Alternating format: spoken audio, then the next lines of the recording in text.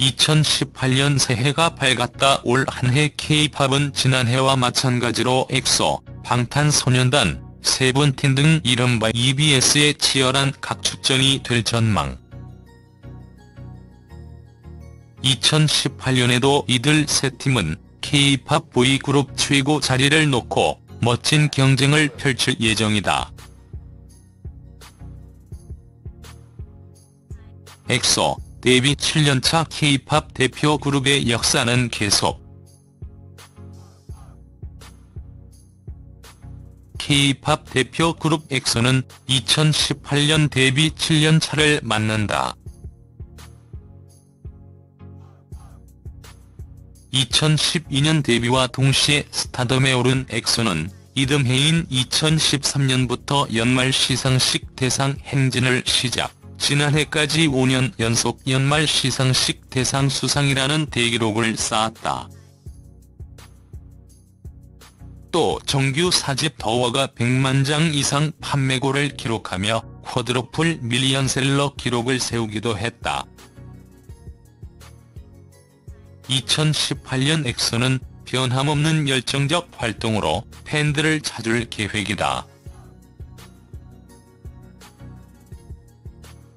진행 중인 월드 투어 엑소 Planet 샵4 공연을 성공적으로 마무리하고 본격 2018 활동에 나설 예정. 수호, 디오 등 멤버 개별 활동 역시 새해에도 계속된다. SM 엔터테인먼트 관계자는 스타뉴스에 엑소는 콘서트 투어와 개별 활동들도 병행하며 2018년에도 열심히 활동할 예정이라고 밝혔다. 방탄소년단 2018년에도 worldwide BTS 방탄소년단은 지난해 데뷔 이후 가장 뜨거운 한 해를 보냈다. 지난 9월 발표한 Love Yourself 승 Her로 뜨거운 사랑을 받은 방탄소년단은 이어 11월 열린 2017 아메리칸 뮤직 어워드에서 K-팝 그룹 최초로 초청받아 공연을 펼치는 등 worldwide급 활동으로 주목받았다.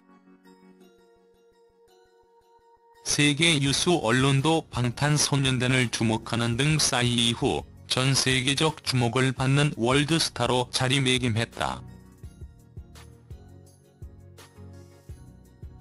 방탄소년단은 지난 12월 27일 발표된 미국 빌보드 차트에서 mainstream 톱 40 차트 27위, independent 앨범 차트 35위, 월드 앨범 차트에서는 4주 연속 1위를 기록하고 있으며 소셜 50 차트에서도 54번째 1위라는 자체 기록을 세우기도 했다.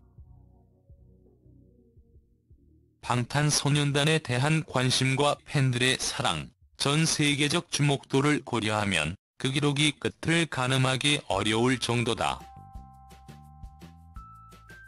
방탄소년단은 새해를 팬미팅으로 연다.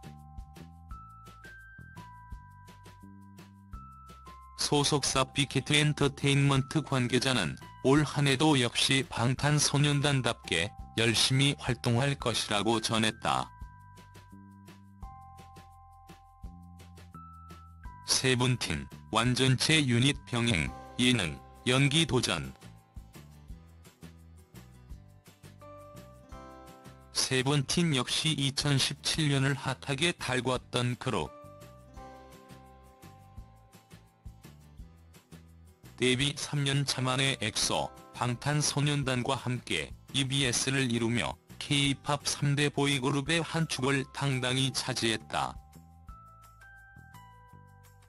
지난 11월 초 공개한 정규 2집 Teen, Age는 발매 직후 빌보드 월드 앨범 차트 1위, 한터 차트 1위에 오르는 등 국내외 음악 차트를 석권했다.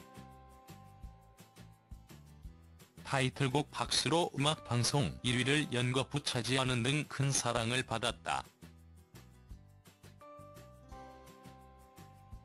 소속사 플레디스 관계자는 지난해에 이어 2018년도 세븐틴에게는 바쁜 한 해가 될 예정이라고 밝혔다.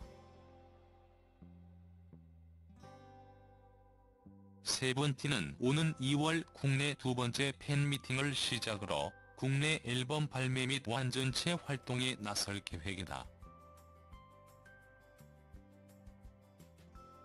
관계자는 그룹 활동과 병행해 유닛 활동, 예능, 연기 등 개인 활동도 다양하게 추진할 예정이라고 기대를 부탁했다.